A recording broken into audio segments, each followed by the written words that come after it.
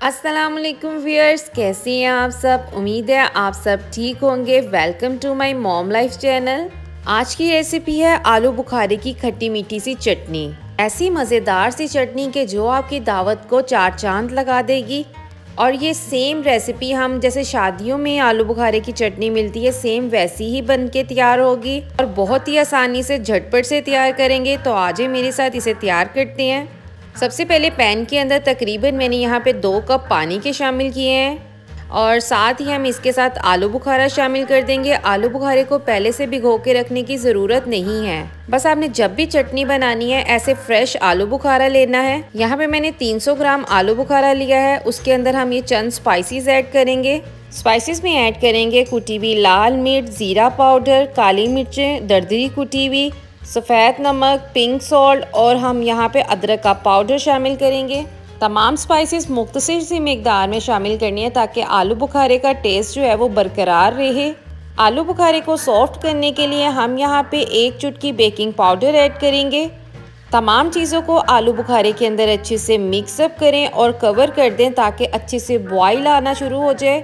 अगर आपने पहले से आलू बुखारे को भिगो के नहीं रखा हुआ तो आप उसमें बेकिंग पाउडर डाल लें और देखिएगा कितनी ही जल्दी से जो आलू बुखारा है, वो फूल के तैयार हो जाएगी चटनी। पाँच से दस मिनट के लिए कवर कीजिए और ये देखिए, आलू बुखारे की जो चटनी में जो पानी ऐड किया था, वो अच्छे से पकना शुरू हो गया हुआ है। इसके अंदर हम शामिल करेंगे सिरका। यहाँ पे मैंने वन टेबल स्पून सिरका ऐड किया है और प्यारा सा खूबसूरत कलर लाने के लिए मैं यहाँ पे रेड फ़ूड कलर ऐड कर रही हूँ।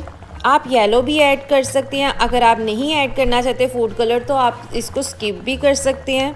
अच्छे से फुल तेज़ आँच के ऊपर इसे पाँच से दस मिनट के लिए पकाएँ। यानी कि हमने इसके अंदर दो कप शामिल किए थे, वो पक के आधा कप रह जाए।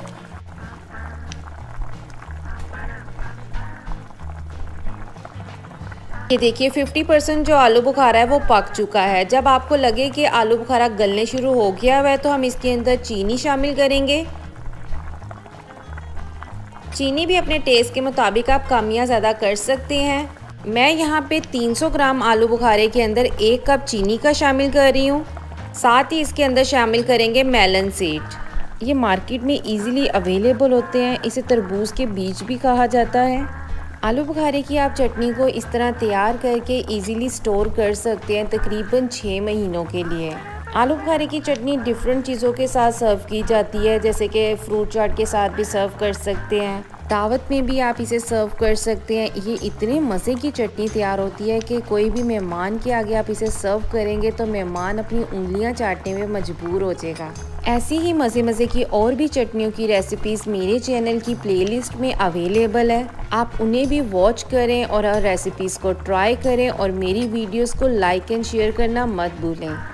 आलू बुखारे की खट्टी मीठी चटनी बनाने की आपके साथ टिप यही शेयर करूँगी कि अगर आपने बादाम और आलू बुखारे को पहले से भिगो के नहीं रखा तो टेंशन लेने की ज़रूरत नहीं है। जस्ट आपने आलू बुखारे की चटनी बनाते वक्त इसके अंदर बेकिंग पाउडर ऐड कर देना है तो देखिएगा वो खुद ही ऑटोमेटिकली आलू बुखारा अच्छे से फूल के तैयार हो जाएगा। आलू बुखारे की चटनी ऑलमोस्ट डन हो चुकी है, अब हम इसके अंदर ऐड करेंगे छिले हुए बादाम। आलू बुखारे की चटनी में छिले हुए बादाम ही शामिल किए जाते हैं।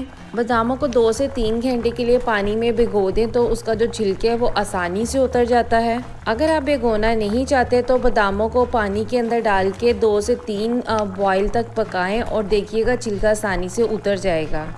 रेसिपी बनाने की मेरी टिप्स एंड ट्रिक्स आपको अच्छी लगें तो वीडियो को लाइक करें।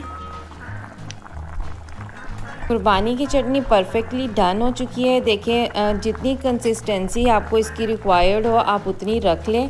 अब ये रेडी टू ईट है, इसे अपने तरीके से आप सर्व करें। मैं भी इसे डिश आउट करती हूँ और आपको इसकी फ़ाइनल लुक दिखाती हूँ। मज़े मज़े की यमियस खटी मीठी सी आलू बुखारे की चटनी रेडी टू ईट है। वीडियो अच्छी लगी तो उसे लाइक एंड शेयर ज़रूर करें। अपनी दवाओं में याद रखिए। मिलते हैं नेक्स्ट न्यू रेमेडी या रेसिपी के साथ। तब तक के लिए अल्लाह हाफिज़।